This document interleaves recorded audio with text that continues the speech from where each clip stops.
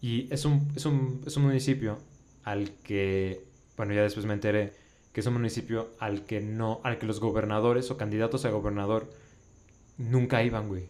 Nunca, nunca van, o sea, como que no, no les interesa.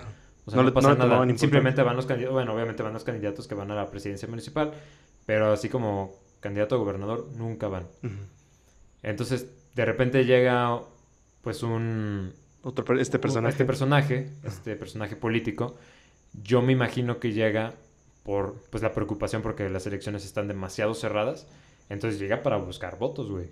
Que pues eso no está mal, porque pues a fin de cuentas es su carrera.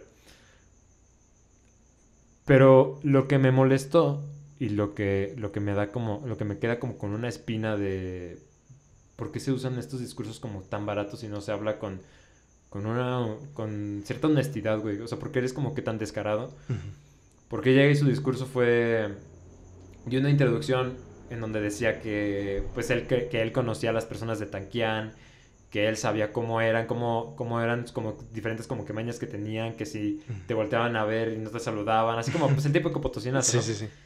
Pero entonces dio toda esta introducción para conectar con ellos, güey. Y para te- decir una de las frases que se me hacen más baratas, por así decirlo, más pobres que puedan existir, que es como, eh, porque dijo, yo me siento de aquí de Tanquián, yo me siento que nací aquí. Entonces es como, güey, o sea, seguramente acabas de enterarte de que existe Que el municipio ajá. porque necesitas de los votos de, los estas votos. personas, de estas personas que se están emocionando con tu discurso, porque textualmente estás diciendo, porque las personas se emocionan por eso, güey, porque las personas se emocionan cuando ven a un político que dice, y, Pertenezco y aquí. cito que no, no, no. Bueno, además de eso, que pertenezco aquí y todo eso, y que dice textualmente, güey, porque eso lo dijo en su discurso. Ujú. Me voy a romper la madre por ustedes. Y Ujú. me voy a romper la madre por Tanquián, por brindarles tal, tal, tal. Es como, vatos, estás jugando con la parte más primitiva de las personas, con estos discursos emotivos que está haciendo bien su chamba, güey. Porque a fin de cuentas, tal vez esas personas sí están convencidas de que van a votar por esta persona, ¿no? Por, Sí. por este personaje. Pero ¿por qué se usan esas cosas, güey? O sea, ¿por qué se usa algo como tan barato para convencerlo, sabes? Eso es lo que no estoy de acuerdo y eso es en lo que me, como que me molesta mucho.